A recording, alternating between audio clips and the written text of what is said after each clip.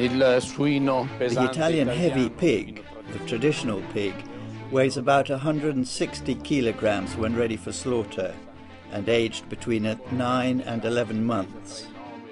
This is a crucial aspect since it means that the swine has reached maturity, enabling prime quality meat to be obtained, which is perfectly suited for processing and preserving.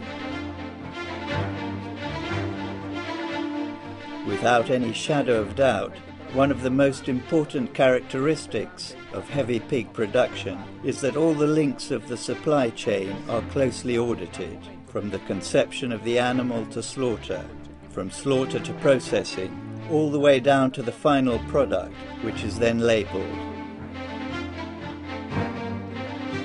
As I said, all the steps are audited. The final label allows the product traceability. Breeding techniques used today in heavy pig production are such that the animals obtained are perfectly healthy and their welfare is taken into account. Indeed, it is only from healthy animals, kept stress free, that excellent quality and therefore great PDO and PGI productions can be obtained.